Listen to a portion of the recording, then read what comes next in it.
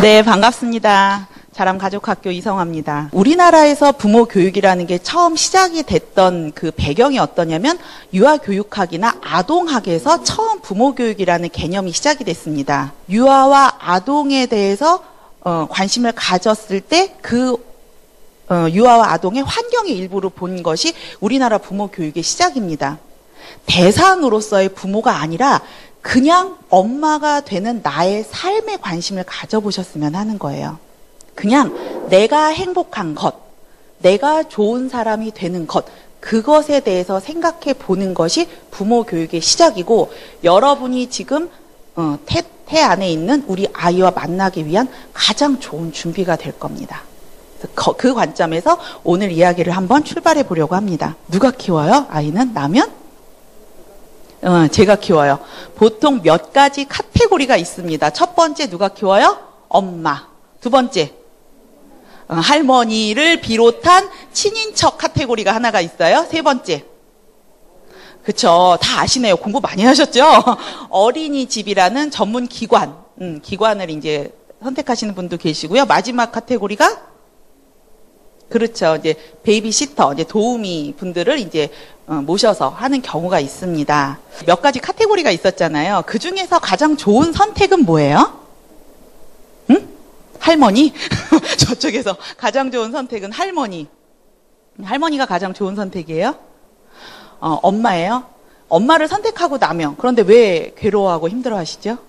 실제로 내가 엄마로서 혹은 할머니가 혹은 어떤 전문 기관이 도우미 어머님을 이제 부르는 것 여러 가지 다 나의 최선이고 선택일 텐데 그 어떤 것도 하고 나서 지금처럼 마음이 편하지가 않아요.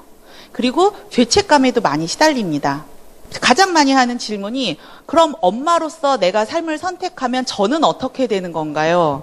라는 질문들 굉장히 많이 하세요. 그럼 제가 여쭤보죠. 엄마는 내가 아닙니까? 이 질문과 죄책감과 고민의 가장 끝에 뭐가 있냐면 내가 양육자와 조력자가 누구인지를 전혀 인식을 못하고 있는 데서 출발하는 경우가 참 많아요. 내가 양육을 하고 있지만 나는 누구고 무슨 역할을 하는 사람이고 양육을 하는 엄마로서의 그 의미가 무엇인지를 내가 잘 모르는 거죠. 그것의 첫 번째 고민은 뭐냐면 저 지금 화면에 있는 양육자로서의 내가 누구인지 그 일의 의미가 얼마나 대단한 것인지를 모르는 데서 출발을 하고 실제로 내가 어떤 양육자이고 싶은지도 모르는 데서 출발합니다. 두 번째는 혼자 키우려고 길을 써서 힘든 게 있어요. 어떤 관점에서는 물리적으로 내가 이 아이를 어느 만큼 관여하고 돌보는가가 주 양육자의 기준이 되기도 해요. 그렇게 보는 관점도 있습니다.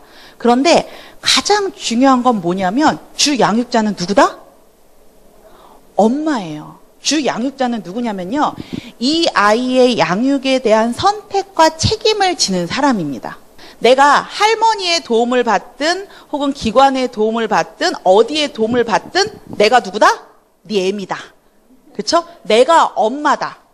주 양육자인데 내가 널 어떻게 할 거냐면 세상과 이어주는 고리 역할을 할 거야가 주 양육자입니다. 가장 탄탄하게 이어지는 첫 번째 고리 역할을 하는 사람, 그걸 우리는 주 양육자라고 부릅니다.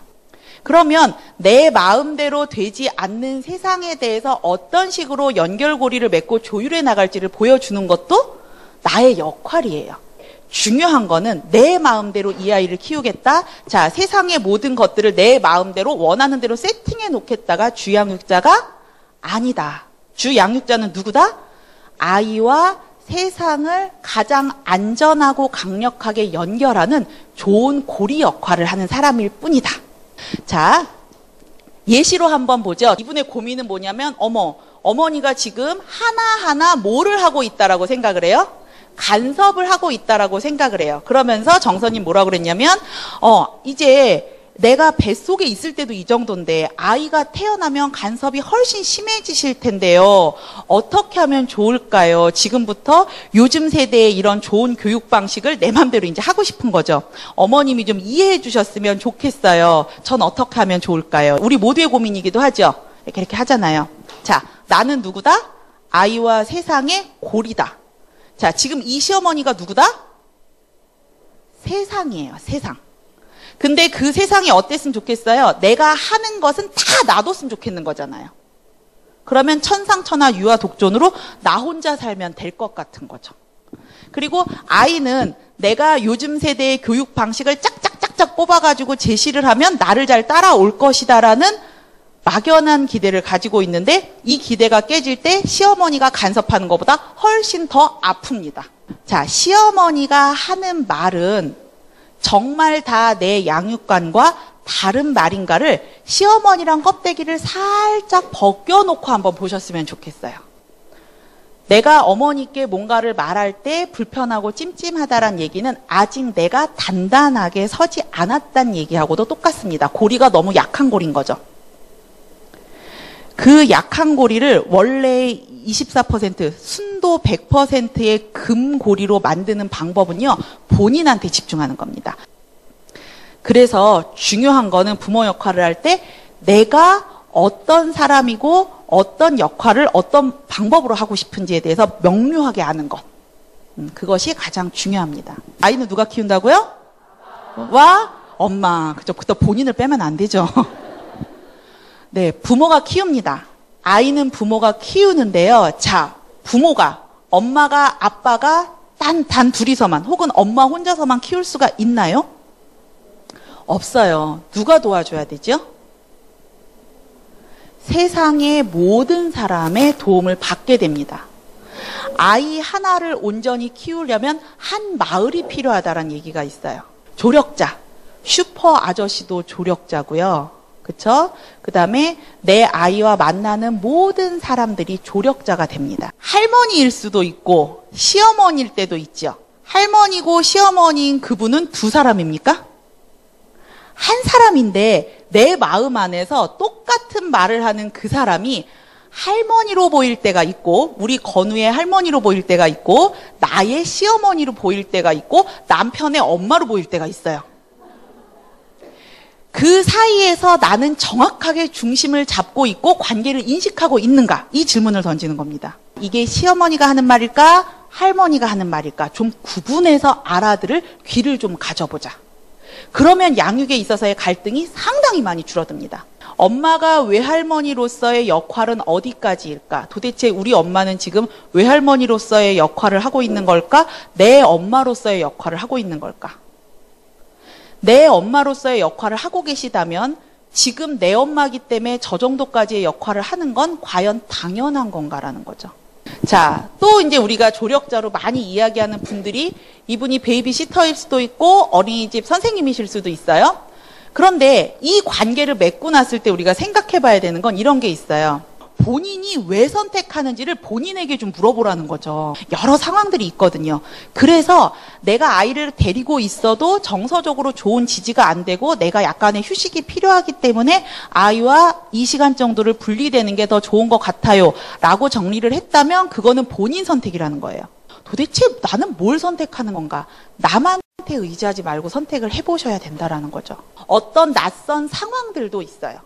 처음 알게 되는 것들 많잖아요. 그쵸? 엄마 되고 나서 생전 몰랐던 거 알게 되지 않아요? 그죠? 진짜 친해지면 좋을 것들과 친해져 보세요. 내가 엄마로서. 자, 그래서 그 많은 것들, 그 조력자들, 또 많은 조력 물품들, 여러 가지 나를 도와주는 것들이 이 부모라는 삶의 긴 여정에서 보다 굉장히 고마운 내 편이다.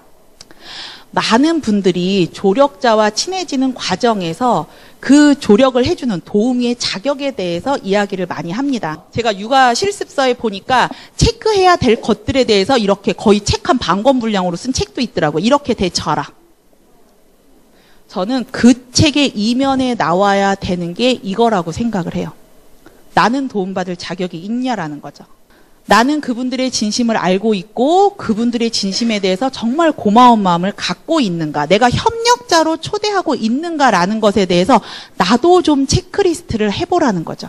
그분들이 어, 직업으로 하시는 분이건 우리 가족이건 어떤 보답을 하고 있고 어떤 태도를 취하고 있는지 그것을 먼저 살펴보다 보면 그분들과의 관계와 그분들의 힘을 얻을 수도 있지만 그것이 결국 누구한테 가요? 이 아이들한테 갈 거예요. 그 아이가 세상과 만나는 방법을 알려주게 되는 걸 겁니다. 내 아이가 정말 소중하시죠? 사랑받았으면 좋겠죠? 내가 사랑하고 소중하게 대해주고, 또 내가 만날 누군가의 아이, 그리고 세상에 대해서 나도 소중하고 사랑스럽게 대하면 이 아이가 사는 세상이 그렇게 내 아이에게 화답해 줄 거고 나에게 화답해 주지 않을까 하는 게 제가 믿고 있는 부분입니다. 여러분도 믿으시죠? 네. 그렇게 그렇게 부모로서의 삶을 준비해 가시면 조금 더 부담도 적고 편안하시지 않을까라는 생각이 듭니다. 네, 오늘 이야기 여기서 마치겠습니다. 수고하셨습니다.